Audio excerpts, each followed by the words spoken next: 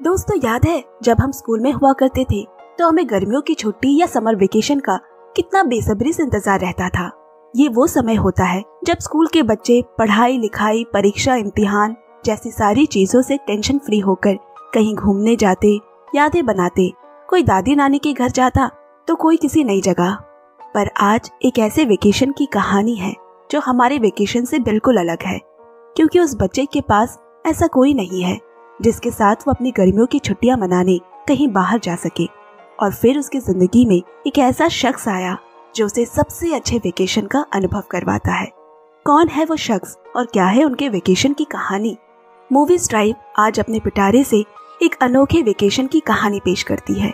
1999 की Kikujiro director Takeshi Kitano I M D B seven point seven दोस्तों, हमारी M family तीन लाख पूरे होने में बस कुछ ही दूर है। आपके ढेर सारे प्यार और सपोर्ट से हम सभी यहाँ तक पहुँचे हैं।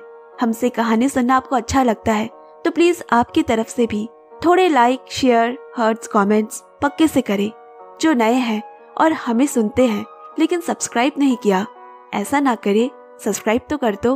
आपके लिए ऐसी ही कहानियाँ लाते रहेंगे यार। तो फिर चलिए, अभी फ़िलहाल ये कहानी सुनते हैं। कहानी की शुरुआत एक बच्चे से हुई। जो खुशी से दौड़ता हुआ अपने घर की तरफ़ भाग रहा है। बच्चे का नाम है मसाओ। पर मसाओ इतना खुश क्यों है? और वो कहाँ से आ रहा है? ये हमें कहानी के अंत में जाकर मालूम होगी। मसाओ अपने स्कूल के दोस्त के साथ घर जा रहा है। दोस्त ने कहा, तुम इस बार गर्मियों की छुट्टियाँ मनाने कहाँ जाओगे मसाओ? पर मसाओ उसका जवाब न देकर उससे ही पूछने लगा, तुम कहाँ जा रहे हो? वो बोला, मैं अपने माँ बाबा के साथ गाँव जा रहा हूँ, अपने दादा दादी से मिलने। ये सारी बातें करते हुए रास्ते में उन्हें कुछ लड़के दिखे। उन लड़कों को देखकर दोनों ने अपना रास्ता बदल लिया, क्योंकि वो लड़के मसाओ को हमेशा रास्ते में परेशान करते हैं। दूसरे रास्ते में मसाओ की मुलाकात उसकी दादी माँ की दोस्त से हुई, जो अपने पति के साथ खड़ी है, जिसका नाम है कीको ज़ीरो। दादी की दोस्त ने कहा, क्या बात है मसाओ, आज बहुत जल्दी छुट्टी हो गई? हाँ कल से मेरी गर्मियों की छुट्टियाँ शुरू हो रही है, इसीलिए आज जल्दी छुट्टी हो गई। ये कहकर मसाओ वहाँ से चला गया। उसके जाने के बाद वो महिला कीको ज़ीरो से कहने लगी, बेचारा मसाओ, अकेले ही अपनी दादी के साथ रहता है। उसके पिता नहीं रहे और उसकी माँ भी शायद काम के सिलसिले से बहुत दूर रहती है। तभी कीको ज़ीरो बोल पड़ा, या ये भी हो सकता है कि उसकी माँ किसी और के साथ भाग गई है और उसने दूसरी शादी कर ली। इसी बात पे दोनों की बहस शुरू हो गई। दरअसल कीको ज़ीरो भी इसी परिस्थिति से गुजरा है, जहाँ छोटे में उसकी माँ ने भी उसे छोड़ दिया था और तीन तीन शादियाँ की थी। यहाँ मसाओ ने घर आकर अकेले ही खाना खाया और फुटबॉल लेकर मैदान की तरफ़ खेलने निकल गया पर जैसे ही वो मैदान पहुँचा तो देखा, आज मैदान में कोई भी नहीं खेलने आया, क्योंकि सभी बच्चे गर्मियों की छुट्टियों में बाहर जाने की तैयारी में लगे हैं अब शाम में बसाओ अकेले घर में उदास बैठा अपनी दादी से पूछने लगा, मेरे माँ बाबा कहाँ हैं? दादी बोली, तुम तो जानते हो, तुम्हारे बाबा सड़क दुर्घटना में बहुत पहले ही गुजर गए थे और तुम्हारी माँ दूर किसी जगह बहुत मेहनत वाला काम करती है। तुम्हारे लिए, ताकि तुम अच्छे से पढ़ पाओ। इसीलिए तुम्हें अपनी पढ़ाई पर ध्यान देना चाहिए, न कि छुट्टियों पर। मसाओ ये सुनकर बहुत उदास हो गया। अब अगले दिन वो अपने एक दोस्त के घर खेलने गया, पर वहाँ कोई नहीं, सब छुट्टियाँ मनाने चले गए हैं। उसके बाद एक और दोस्त के घर गया, वो भी तभी तभी घर से घूमने जाने के लिए निकल रहे हैं। मसाओ अपना भारी मन लिए घर वापस आ गया और बैठे बैठे अपना होमवर्क करने लगा। तभी दरवाजे की घंटी बची और मसाओ ने देखा उसकी दादी के लिए एक पार्सल आया है, जिसे लेने के लिए स्टैंप लगेगा। इधर मसाओ को दादी के दराज में स्टैंप ढूंढते ढूंढते उसके माँ की कुछ तस्वीरें मिली और साथ मिला उनके घर का पता। मसाओ ने अपनी माँ की एक तस्वीर, कुछ किताबें और उस पते को अपने बैग में डालकर अकेला ही निकल पड़ा अपनी माँ से मिलने। यहीं से मसाओ की ज़िंदगी में उसके सबसे रोमांचक सफ़र की शुरुआत होती है। रास्ते में मसाओ को फिर उन बदमाश लड़कों ने रोक लिया। उसके सारे पैसे छीन कर उसे परेशान करने लगे। उसी वक्त वहाँ कीको जूरो और उसकी वाइफ आ गए और उन लड़कों से मसाओ के पैसे वापस लेकर कीको जूरो वो पैसे मसाओ को न देकर अपने ही जेब में डालने लगा। उसकी पत्नी ने गुस्से में घूर कर उसे देखा और कहा, ये मसाओ के पैसे हैं, उसे वापस करो। कीको जोरो को ना चाहते हुए भी वो पैसे मसाओ को देने पड़े। अब कीको जोरो की पत्नी मसाओ को एक रेस्टोरेंट में ले गई। उसे पता चला कि मसाओ अपनी दादी से बिना कहे ही अपनी माँ की तलाश में निकल पड़ा है। इतनी दूर तुम अकेले कैसे जाओगे? कैसे ढूंढ पाओगे अपनी माँ को? ये कहकर उसने कीको जोरू को बुलाया और उसे कुछ पैसे देकर कहा, मसाओ को उसकी माँ से अच्छे से मिला लाने की ज़िम्मेदारी तुम्हारी है, समझे? लेकिन अब उसकी दादी से क्या कहा जाए? तो उसने कह दिया कि उसका पति मसाओ को कुछ दिनों के लिए समंदर किनारे घुमाने ले गया है। दादी के दोस्त होने के नाते उन्हें ज़्यादा फ़िक्र नहीं हुई। बल्कि वो खुश हो जाती है। यहाँ से शुरू हुई कीको ज़ीरो और मसाओ की ना भूलने वाला एक सफ़र। सबसे पहले तो कीको ज़ीरो मसाओ को उसकी माँ से मिलवाने के बजाय कहा साइकिल की रेस दिखाने ले गया। वहाँ सट्टे पे सट्टा लगाकर उसकी बीवी के दे सारे पैसे वो हार गया। इसके बाद उसने मसाओ से भी उसके पैसे ले लिए। बताओ। और कहा, तुम एक से नौ तक कोई भी दो नंबर चुनो। मसाओ ने चुना छह और तीन। और किस्मत से यही 63 नंबर साइकिल ही पहली विजेता हुई। कीको ज़ीरो की खुशी का ठिकाना नहीं रहा। उस रात उन्होंने एक अच्छे से रेस्टोरेंट में खाना खाया, रात एक होटल में गुजारी। सुबह होते ही कीको ज़ीरो ने मसाओ से कहा, क्या तुम्हें अपनी माँ से मिलना है? मसाओ ने हमें सर हिलाया, लेकिन वो फिर से उसे साइकिल की रेस दिखाने ले गया। लेकिन आज मसाओ के बोले किसी नंबर ने भी कीको जोरी का साथ नहीं दिया और धीरे धीरे वो सारे पैसे हार गए। मसाओ के गलत नंबर गेस करने के कारण आज वो अकेले ही रेस्टोरेंट में गया है और मसाओ को बाहर खड़ा कर दिया। पर जब वो बाहर आया तो उसे मसाओ कहीं नहीं दिख रहा। वो उसे ढूँढने लगा। तभी उसकी नज़र एक अधेड़ उम्र के शख्स पर पड़ी, जो मसाओ का यौन शोषण करने की कोशिश कर रहा है। कीको जोरो ने उसे बहुत पीटा, फिर मसाओ को वहाँ से लेकर एक टैक्सी में बैठ गया। मसाओ बहुत रोने लगा। उसे ऐसा रोता देख कीको जोरो ने फैसला किया कि अब वो उसे उसकी माँ से ज़रूर मिलवा के रहेगा। थोड़ी देर बाद टैक्सी ड्राइवर टॉयलेट करने उतरा। कीको ज़ीरो ने देखा कि बहुत देर से वो टॉयलेट ही किया जा रहा है और यहाँ टैक्सी का मीटर चालू है। पैसे बढ़ रहे हैं, जबकि टैक्सी तो एक ही जगह खड़ी है। ये देखकर किकोजुरो समझ गया और वो खुद ही टैक्सी चलाने लगा। पर ड्राइविंग में उसका हाथ इस कदर तंग था जो उसने कुछ दूर टैक्सी चलाकर ही उसका बारह बजा दिया। वो रात किसी तरह उन्होंने उसी टैक्सी में गुजारी और सुबह टैक्सी वही छोड़कर आगे बढ़ गए। फिर उसने मसाओ को एक जूस खरीद कर देते हुए कहा, जब तुम अपनी माँ से मिलोगे ना तो बताना मैंने तुम्हारा कितना ख्याल रखा, कितने अच्छे से तुमको खिलाया, पिलाया और सारे पैसे तुम पर ही खर्च किए। असल में वो चाहता है कि जब मसाओ अपनी माँ से ये सब कहे तो उसकी माँ खुश होकर उसे ज़रूर कोई इनाम दे। इसके बाद दोनों एक रिजॉर्ट पहुँचे। कीको जोरो ने अपने लिए और मसाओ के लिए भी कुछ कपड़े खरीदे। फिर दोनों आगे रिजॉर्ट के स्विमिंग पूल के किनारे। कुछ देर बाद मसाओ तो स्विमिंग पूल में उतरा। फिर वो कीको ज़ीरो से उतरने को कहने लगा, क्या तुम नहीं आओगे? कीको ज़ीरो, मसाओ की नज़र में हीरो बनने के लिए स्विमिंग पूल में कूद तो गया, पर उसे तो तैरना ही नहीं आता। वो एक पता नहीं, अजीब सी हालत में पूल में गिरा पड़ा है। फिर उसे जल्दी से सुरक्षा कर्मियों ने बाहर निकाला। इसके बाद वो अपने कमरे में आकर एक टेबल पर तैरने का अभ्यास करने लगा और ऐसे ही दोनों अलग अलग अजीबो गरीब मस्तियाँ और पागलपंती करते रहे। जब रिजॉर्ट छोड़ने का समय आया तो किको जोरू रिजॉर्ट के मैनेजर से इस बात पर लड़ पड़ा कि उनके यहाँ सब कुछ इतना महँगा क्यों है? तुमने तो हमारे सारे पैसे ही ले लिए तो अब तुम्ही को हमें अपनी गाड़ी में कुछ दूर तक लिफ्ट देना पड़ेगा। मैनेजर की मुलाकात कीको जोरो जैसे इंसान से पहली बार हुई है। उसने भी थक हार कर उसकी बात मान ली कि अब और बहस की तो वो पागल हो जाएगा। फिर कीको जोरो ने मसाओ के सर पर एक टपली मारी और कहा, चलो अब यहाँ से, पर ये क्या? ये तो मसाओ नहीं, बल्कि कोई और ही बच्चा है। उस बच्चे के मम्मी पापा तक उसके पीछे पड़ गए। फिर किसी तरह वो मसाओ को लेकर वहाँ से निकला। मैनेजर उन्हें कुछ दूर लिफ्ट देकर वहाँ से चला गया। वहाँ कुछ ट्रक्स खड़े हैं, जिसे देखकर किकुजुरु ने मसाओ से कहा, जाओ, जाकर उनसे लिफ्ट मांगो। पर ट्रक ड्राइवर ने लिफ्ट देने से मना कर दिया। अब उसने मसाओ से कहा, लिफ्ट मांगने के लिए तुम्हारा चेहरा दुखी जैसा नहीं लग रहा। रुको फिर उसने मसाओ के चेहरे पर पता नहीं कुछ अजीब से नक्शे बनाए और फिर से उसे लिफ्ट मांगने भेजा।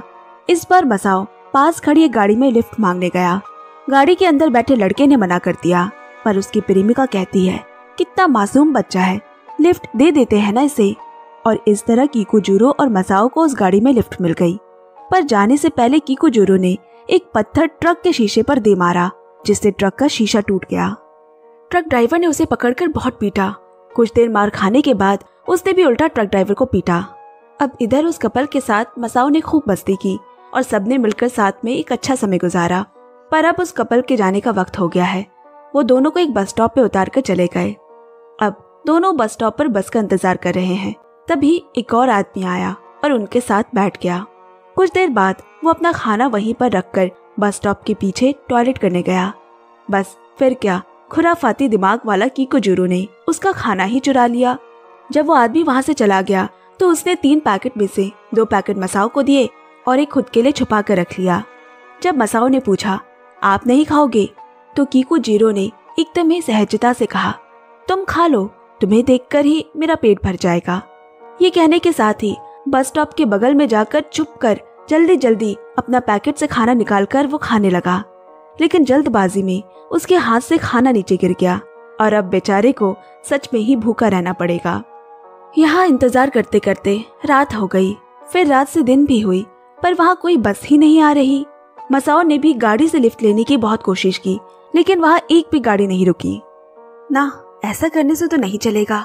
तभी कीको जूरो ने एक अंधे का भेस बनाया और रास्ते के बीचों बीच अंधे की एक्टिंग करने लगा, पर इससे भी कोई फ़ायदा नहीं हुआ। बल्कि एक गाड़ी तो उसे धक्का मारकर ही भाग गया। इसी तरह एक और रात हो गई। देर रात मसाओ अपनी माँ की तस्वीर देख रहा है। मसाओ से बात के दौरान कीको को पता चला कि उसने कभी अपनी माँ को नहीं देखा है। ये जानकर कीको को बहुत बुरा लगा, क्योंकि उसे भी कभी उसकी माँ का प्यार नहीं मिला था। अगले दिन वो बस का इंतज़ार छोड़ पैदल चलना शुरू कर देते हैं। कुछ दूर चलने के बाद उन्होंने एक नया पैथरा आजमाया, रास्ते में कील रखकर। ताकि गाड़ी का टायर पंचर हो और चेंज करने में उनकी मदद के बहाने उन्हें कुछ दूर तक लिफ्ट मिल जाए। मगर जैसा उन्होंने सोचा था, वैसा कुछ न होकर एक गाड़ी सीधा पुल से नीचे जा गिरी। दोनों वहाँ से भाग खड़े हुए। कुछ दूर भागने के बाद कीको जोरू फिर से एक और गाड़ी का हवा निकालने लगा और उस गाड़ी का मालिक वहीं खड़ा, उन्हें ये सब करते हुए देख भी रहा है। लेकिन उसने उन्हें कुछ कहे बिना ही लिफ्ट दे दी। वो बोला, तुम जहाँ बोलोगे तो मैं वही लेकर जा सकता हूँ। क्योंकि मैं एक लेखक हूँ और मैं जगह जगह घूम कर वहाँ की सारी बातें लिखता हूँ। बात करते करते आखिरकार मसाओ अपने माँ के घर पहुँच गया। वो अपनी माँ से पहली बार मिलेगा, उसे पहली बार देखेगा, पहली बार बात करेगा। ये सब सोच सोच कर मसाओ मन ही मन बहुत खुश और उत्सुकता से भर गया। पर ये खुशी ज़्यादा देर बरकरार नहीं रही, जब उसे पता चला कि उसकी माँ यहाँ काम नहीं कर रही, बल्कि उसने तो अपना एक अलग संसार बसा लिया है। उसने दूसरी शादी कर ली है, जिससे उसकी एक बेटी भी है। उसने मसाओ को भुला दिया है और अपनी नई दुनिया में बहुत खुश है। ये सब देखकर छोटा मसाओ अपनी आँखों में आँसू को समेटे वहाँ से चला गया। कीको ज़ीरो मसाओ को दिलासा देने लगा। हो सकता है ये तुम्हारी माँ नहीं हो, कोई और हो। पर मसाओ अब समझ चुका था, आखिर क्यों उसकी माँ उसे मिलने नहीं आई, क्यों उसे माँ का प्यार नहीं मिला, क्योंकि वो तो अपनी अलग दुनिया में खुश थी। इसके बाद कीकोजुरु मसाओ को समंदर किनारे बिठाकर वापस मसाओ की माँ से बात करने उसके घर आया, लेकिन वो उसकी माँ से बात नहीं कर पाया। फिर पास खड़ी बाइक में उसे एक घंटी दिखाई दी।